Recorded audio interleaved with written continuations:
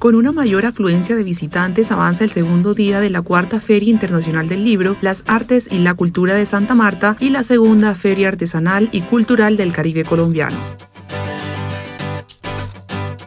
Durante la jornada se llevó a cabo el taller con bibliotecarios del Magdalena con el fin de conocer el Plan Leo, sus componentes y la ruta para su formulación. Significa tener una ruta clara de accionar que debemos direccionar para que las personas accedan cada día más a eso de leer. No debemos dejar a un lado ese bagaje de conocimientos que tienen los municipios, eh, sino que se deben plasmar. Por su parte, en el marco de la Feria Artesanal y Cultural del Caribe Colombiano, tributo a la herencia ancestral, se realizó la conferencia Industrias Creativas y Culturales. Uno a veces desde allá tiene como unas ideas, pero traerlo a los actores directamente, ver su emoción ante una, una idea, es emocionante. Prácticamente estoy aprendiendo toda porque están hablando sobre el conocimiento del tejido, cada mochila, qué significa y qué valor tiene. He conocido mucho pensamiento, he conocido los tejidos de cada etnia, los guayú,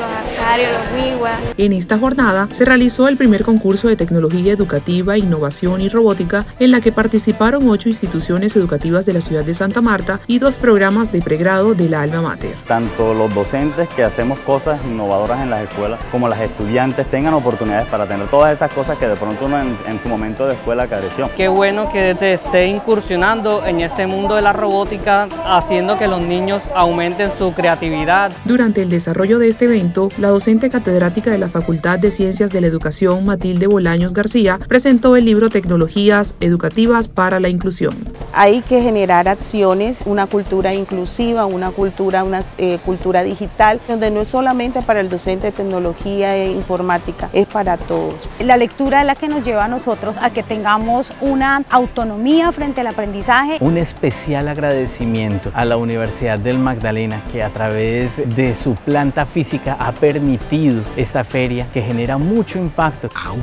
más incluyente e innovadora.